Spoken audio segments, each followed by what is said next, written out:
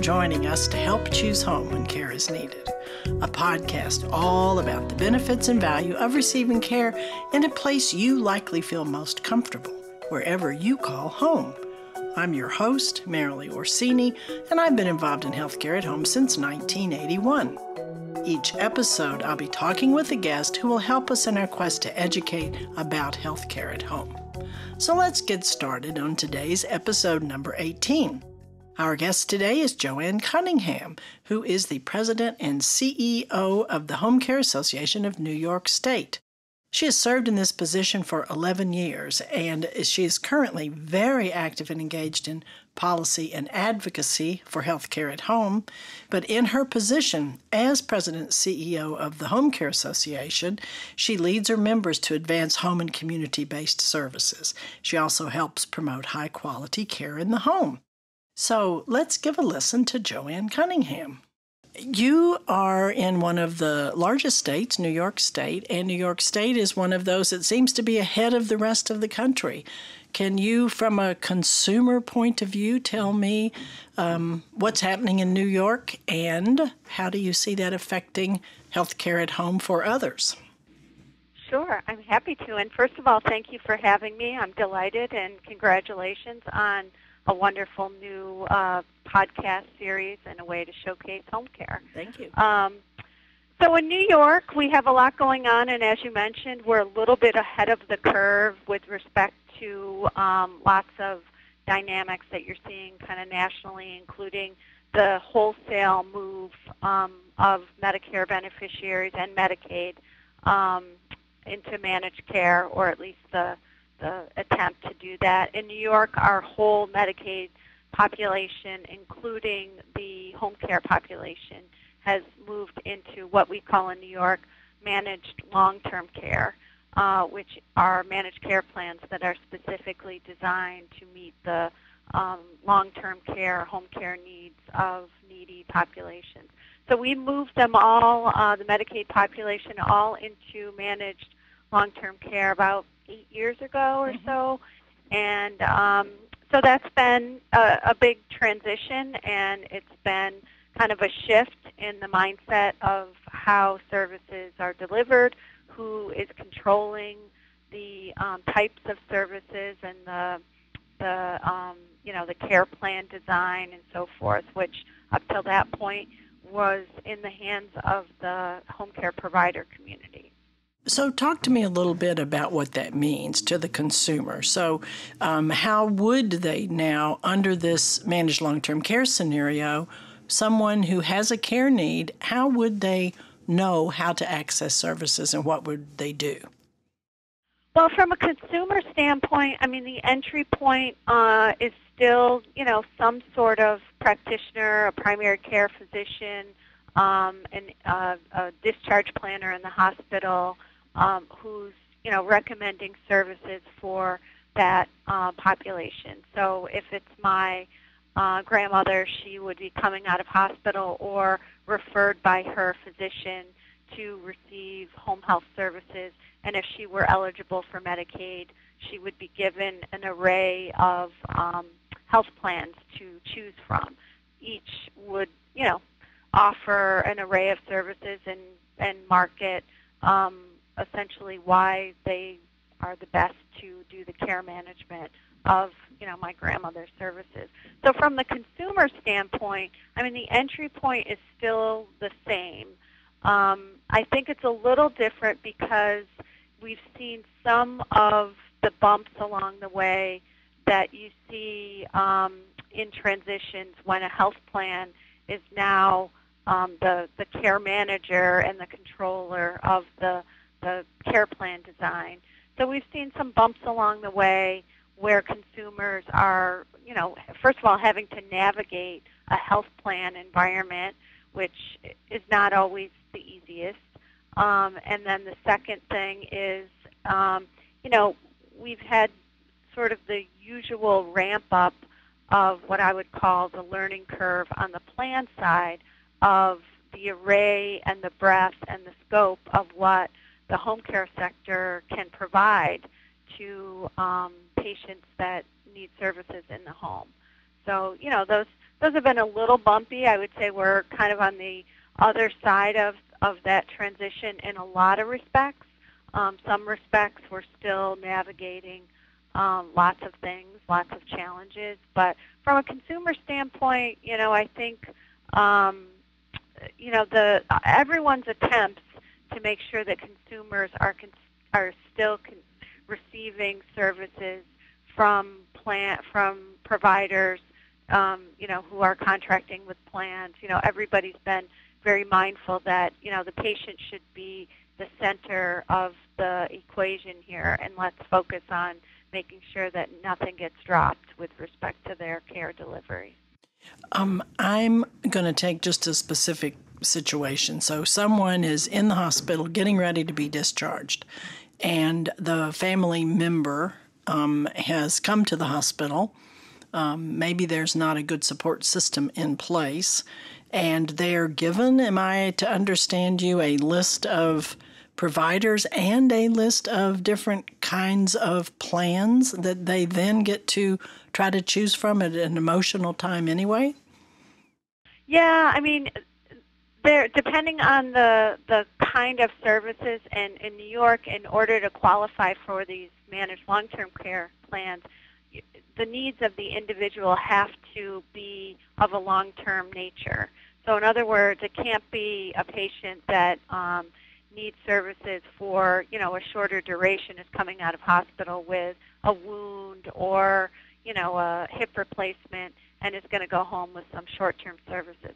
In that scenario, um, the system is pretty much the same with respect to I, I think how how the patient experiences it. They um, you know our hospitals work with a number of home care providers in their community, and those hospitals would have those relationships and kind of give them, look, here are the, the providers that we work with, and the consumer would then uh, choose from from that um, you know array of providers. Um, so that's all the same. Now, if they're a Medicaid eligible patient, and New York has a very robust Medicaid program, and um, and if they're Medicaid eligible and they need those long-term services, then um, you know it's a different pathway. Uh, um, they would be given an array of choices of health plans to then evaluate which one's best. Um, now that all assumes if they don't, you know, they weren't a home care patient prior, um, because as we know, a lot of patients uh, go frail, elderly, you know, disabled patients going into hospital may have already been in the home care system. So if they have, it's a much easier sort of transition out because um, you know they're they're uh, reconnecting with the services that they had already had um, you know a relationship with. So if someone um, has a need for care and they are not being hospitalized, is there a way to access home care if someone chooses to stay at home but doesn't have an acute episode that causes that hospitalization or? Yes. Yep. Absolutely. Um, i mean in new york we have like i said the state has had a policy uh, mission over many decades of um, expanding our medicaid program to to allow for um, you know a higher income level of um, low-income person to qualify, as well as you know maxing uh, out any opportunity to um, expand its portfolio of services. So I say that because um, we, prior to a lot of change in the state, we actually had a whole separate Medicaid personal care program that was, you know, a two and a half billion dollar program that was just focused on personal care. So we do have a lot of history in that. Now, for a patient today that um, is being referred from community, as we say, where you know maybe a family member has said, you know, uh, my mother is is um, in need of some services. I'm noticing some things. Brings her mom to um, the primary care doc. The primary care physician agrees. You know, at that point, then they would um, determine, you know, can we get this person in the Medicaid managed long-term care program Um, do they meet the eligibility? And um, how do we plug them into services? How is the New York State Association helping consumers, or are you helping consumers at all to um, either make the system easier to navigate, or reducing the choices, or what what other kinds of things need to be done to make this a, a friendlier program for people who are trying to choose home? That's a great question, and it is a great focus area of the association. Um, I think one of the big challenges that all of us in this space need to work on is to make the home care system more approachable, more understandable, more friendly to consumers. We all know the folks, you know, our high school friends who call us up and say, okay, my parent needs home care. How do they access that now? And then you have to outline kind of a you know, a convoluted system that is really a system where the questions are surrounding the payer. Well, are they do they have some commercial insurance or Medicare or Medicaid? And then we go through the series of you know decision tree questions. Do, do they have a skilled need? You know uh, um, that would kind of put them into the Medicare system. And I think none of it makes sense to any person in, in the real world. Um, I, I'm not even sure it makes sense to any of us who are living in this world, but um, we believe that there has to be a tremendously um, more simple and approachable way for individuals to navigate that. Um, I think one of the things that we're trying to do, we, we have a lot of irons in the fire on this. One of the initiatives that we've been pushing for for many, many years is um, on the commercial side actually legislation that would modernize the um, commercial insurance coverage for, for home care. Right now, we have language in our state statute um, governing, you know, the commercial benefit that is from like 1972 when people came out of the hospital after being in there for two weeks and kind of walked out the door and didn't even need, you know, a tissue and could drive themselves home. We all know that patients are coming out of hospital um, with a much higher level of need. Um, so we were trying to attempt, and we've been working on this for many, many years, to modernize what the definition of home care services would look like in our commercial insurance um, statute. Um, but I, I, you know, that's kind of the the big world view and the long view. Um, but I think on the information side, we can also do a better job. Um, one of the things we try to do is um, arm our providers with information that um, they can share with community members. We actually have a brand new system in our um, in our website that is um, going to. It's not operational yet. It's going to be launched uh, in the next couple of months.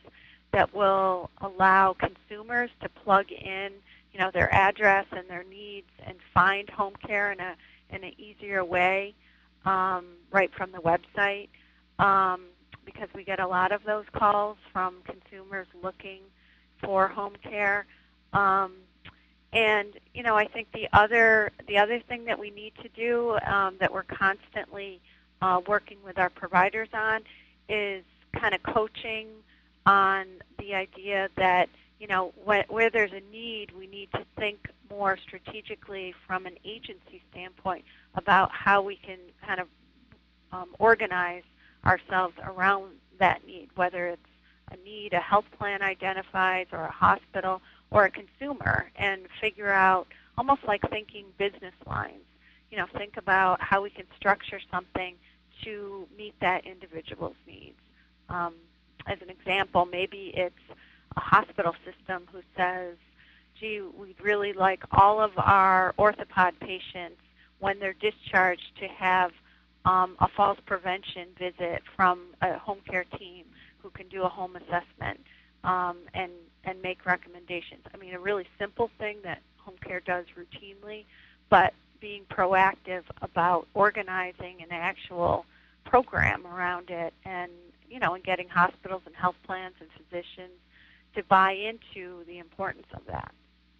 And are you making headway in any of those discussions or those plans? You know, I think we're I think we're making headway. I think it's um, you know it's three steps forward and sometimes one step back or two steps back.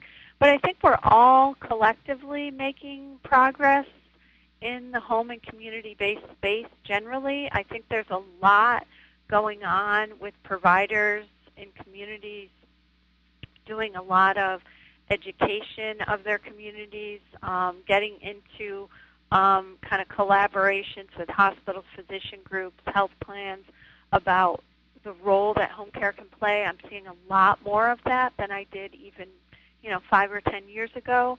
And I think some of that is the product of federal and state policy that's pushing for more integrated models, service delivery models where home care is working with hospitals, working with physicians, um, working with pharmacy, working with, you know, um, chiropractors, mental health providers. So we're seeing more collaboration, and I think that is having a positive effect.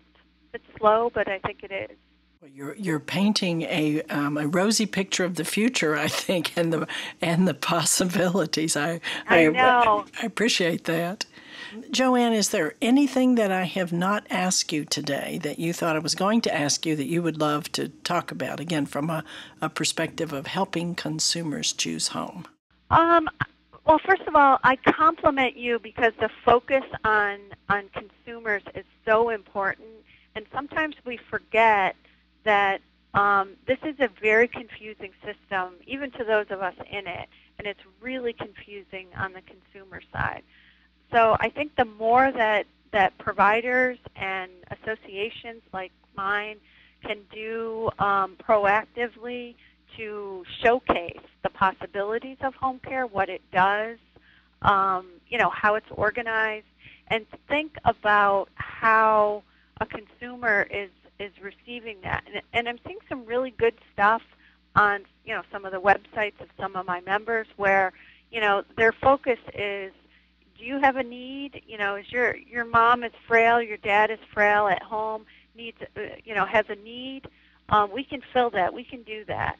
So I think we need to keep pushing that message of home care is the nimble, flexible kind of problem solver provider that when plugged in to a, a situation where you have, you know, any individual who has a healthcare need at home um, home care can be there. We just have to think creatively about how to organize ourselves and how to really market ourselves so that folks will um, start thinking about the possibilities of home care. And I, I think we're making progress.